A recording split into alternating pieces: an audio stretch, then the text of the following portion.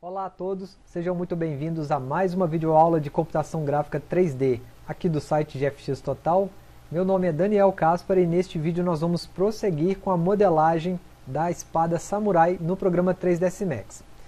Essa aula é a segunda aula da série que nós vamos publicar aqui modelando essa espada. Na primeira aula nós falamos sobre a importância das referências e também a importância de se entender a história do modelo que você pretende criar. Se você não viu, dê uma olhada, é muito importante, principalmente para você que deseja se profissionalizar na área da computação gráfica 3D. E nesse vídeo nós vamos começar, propriamente dito, a modelar o nosso objeto 3D. Na aula anterior ainda eu falei com vocês que nós íamos começar pela modelagem da ponta dessa espada, depois nós vamos modelar ali toda a parte da lâmina, em seguida modelamos a guarda, o cabo e finalmente a coronha. Então vamos modelar toda essa sequência do nosso objeto 3D. Antes de começarmos esse vídeo, como sempre, eu quero convidar você que está chegando agora a participar do nosso canal, clicando logo aqui abaixo no botão inscrever-se, ativando as notificações e também deixando o apoio através do seu like. E para você que já é inscrito no nosso canal, eu só tenho a dizer, como sempre, mais uma vez o nosso muito obrigado por participar da nossa família da computação gráfica 3D. Começando esse vídeo, como vocês já podem ver, as referências foram configuradas na aula anterior. Eu vou acessar aqui através do botão F a vista front. Vamos maximizar a viewport e eu vou utilizar aqui a todo momento o nosso painel com os atalhos dos modificadores. Para esse objeto, como nós já falamos, eu vou começar pela ponta, então vou criar aqui um objeto que se assemelha à ponta dessa lâmina. Em aulas anteriores nós já fizemos a modelagem de uma faca também. Para você que não viu, tá muito bacana a videoaula, dê uma olhada lá que você vai se aprofundar um pouco mais nesse assunto de modelagem de objetos com essa aparência. Então começando aqui eu vou criar um plane primeiro, vamos criar aqui um plane bem simples aqui na base. Esse plane eu vou deixar com zero segmento aqui, ou um na verdade, na horizontal e um na vertical. Aplicamos o modificador Edit Poly a esse objeto selecionamos os dois pontos de vertex e modificamos a posição desses pontos aqui. Então observem que eu vou acompanhar mais ou menos aqui o desenho da nossa espada. Nessa parte de cima, eu vou selecionar esse pontinho aqui, essa edge, na verdade, essa linha.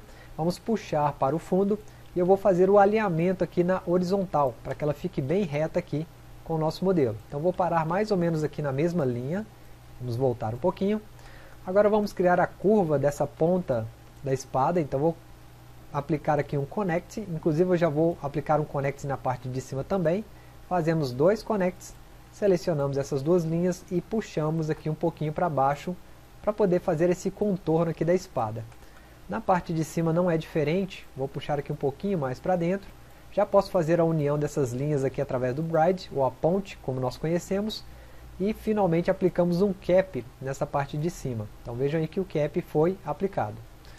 Agora nesse contorno aqui da espada, nós vamos selecionar essas linhas, vou puxar um pouquinho para o lado aqui, mais ou menos essa quantidade aqui está bom, vejam aí que ele vai criar esse efeito de lâmina. Agora eu vou selecionar essa lateral aqui e vamos aplicar um bevel.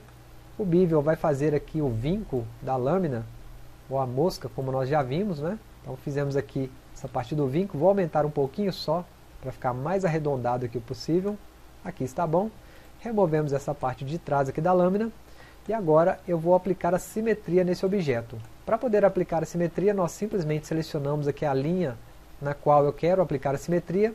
Vamos aqui no botão Symmetry, marcamos a simetria no eixo Z, e aqui a ponta da lâmina já está praticamente pronta. Depois disso, é só aplicar mais um modificador Edit Poly, selecionar essa borda aqui do fundo, pressionar o botão Shift e puxar. E veja que ele já vai começar aqui a criar a nossa lâmina. Essa parte escura que acontece aqui, ela é chamada de Smoothing Groups, que são os grupos de suavização. Vamos selecionar aqui todo o nosso elemento, e vamos procurar aqui abaixo no nosso painel lateral, um menu chamado Polygon Smoothing Groups, e vamos clicar no botão Clear All, para poder limpar tudo. Agora nós já temos aqui a base da nossa espada. Se eu aplicar um modificador Turbo Smooth, observe que a espada ela vai perder a afiação. Então quanto maior aqui o Turbo Smooth, mais arredondada será a afiação dessa espada. Mas eu não quero isso, eu quero que ela fique bem afiada.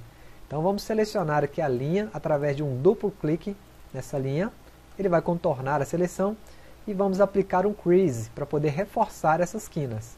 Vamos ver mais uma vez com o Turbo Smooth e agora nós vamos ter esse corte aqui da linha. Vejam que ela já ficou bem mais afiada. Aqui na lateral também nós temos que fazer essa mesma linha, então vejam que eu vou fazer aqui mais ou menos a direção dessa linha da navalha ali, como nós podemos ver. E o reflexo também mostra aqui uma outra divisão. Então vamos lá no nosso modelo mais uma vez, tiramos o Turbo Smooth, selecionamos as duas linhas da lateral, então seleciono essa linha e essa outra linha aqui também, aplicamos o Crease e ativamos o Turbo Smooth mais uma vez para ver aqui o resultado. Observem que ele já faz mais ou menos aqui o desenho da nossa lâmina.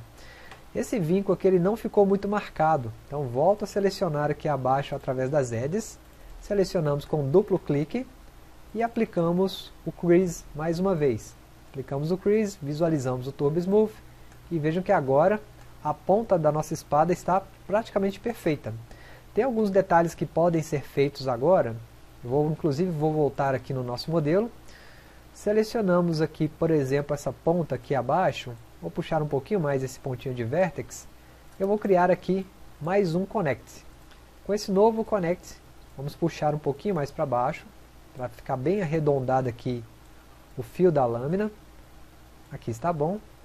E agora, aqui do lado também na vista left, ou a vista front, eu vou ajustar esses pontinhos aqui para que eles fiquem mais acompanhando aqui a topologia, como vocês podem ver. Aqui já está bom. E agora eu vou só alinhar esses pontinhos de vértex aqui na horizontal. Selecionamos essa linha aqui em torno. Selecionei toda a linha. Vamos aplicar um crease nessa linha e vamos ver com o Turbo Smooth aqui como que vai ficar. Então observe que ao aplicar o Turbo Smooth não mostra muita coisa. Isso porque a ponta da espada ela é um pouquinho mais fina do que o restante dela. Então tenho que voltar aqui na ponta da espada.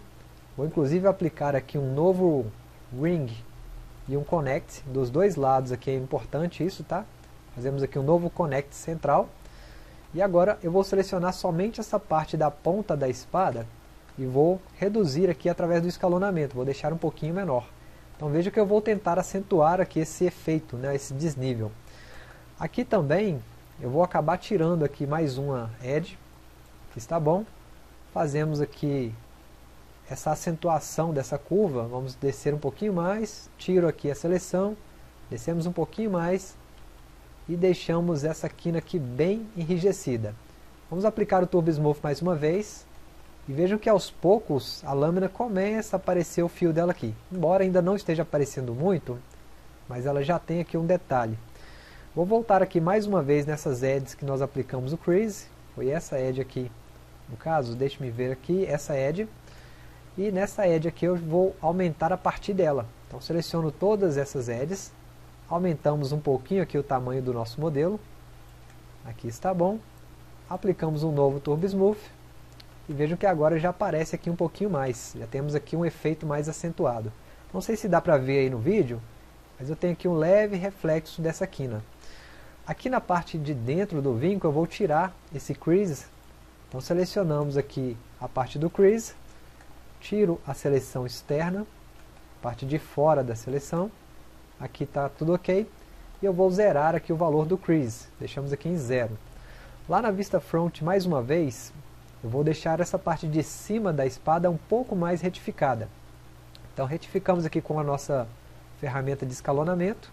Aqui o mesmo procedimento, deixamos um pouquinho mais reto. E aqui quase 100% reto. Então vamos ver aqui mais uma vez. Vamos ver como que está agora com o Turbo Smooth, a ponta da nossa lâmina. E vejam que agora está praticamente perfeita. Tá? Temos aqui a divisão, temos o vinco, temos todos os detalhes aí da lâmina. Aqui nessa parte de cima, eu acho que a gente ainda pode distanciar um pouquinho mais, porque ficou um pouquinho estranho aqui o efeito da lâmina. Então vou tirar, para começar aqui eu vou tirar o Edge Crease, vamos remover aqui através do Crease, aplicamos o Turbo Smooth novamente, e vejam que agora sim, agora temos aqui a lâmina perfeita.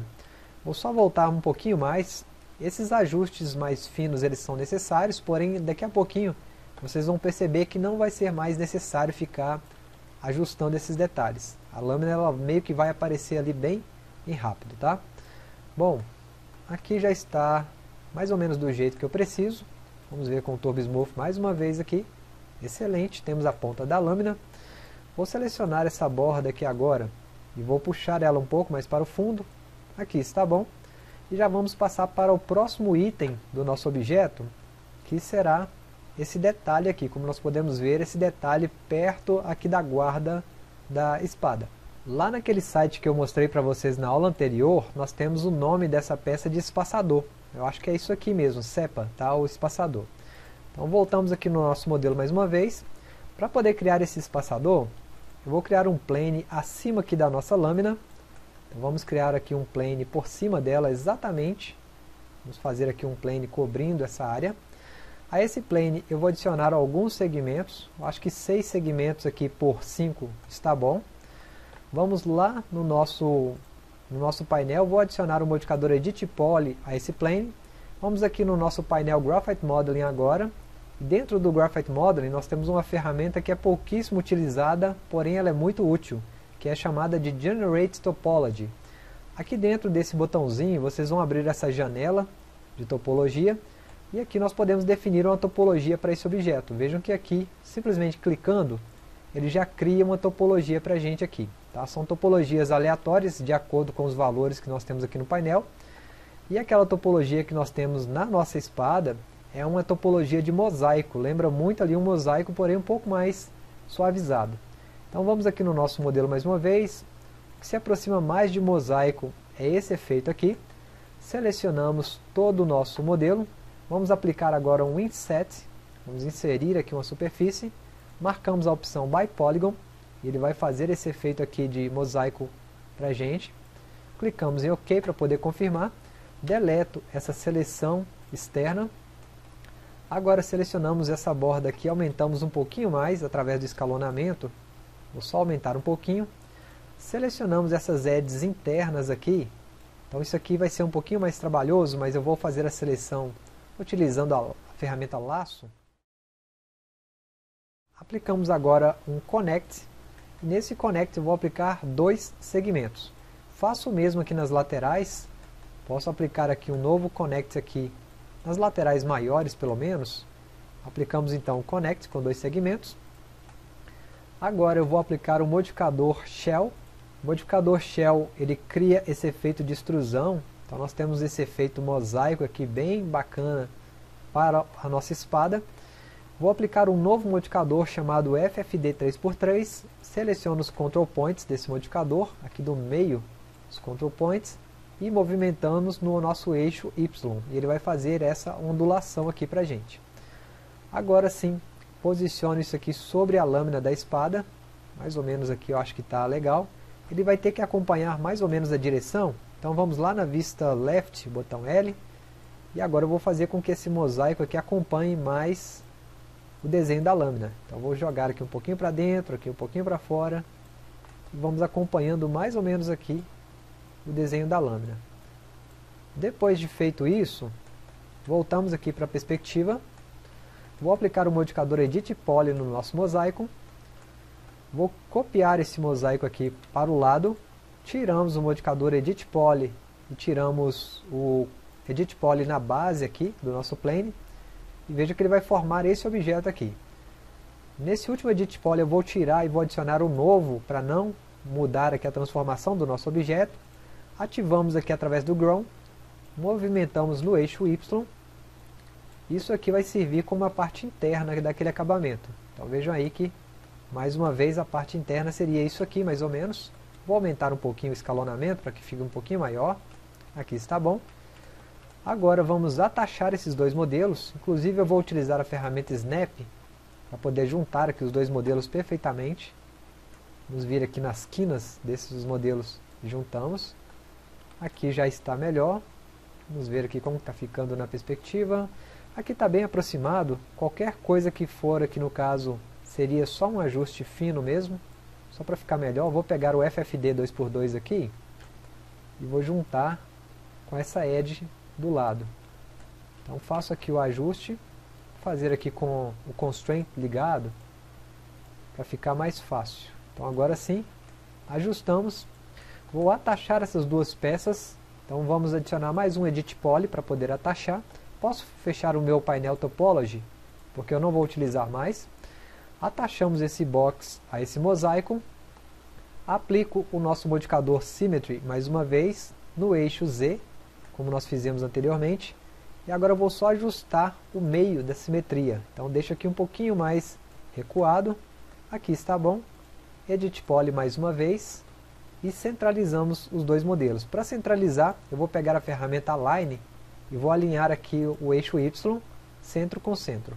Então aqui já temos o alinhamento da nossa espada.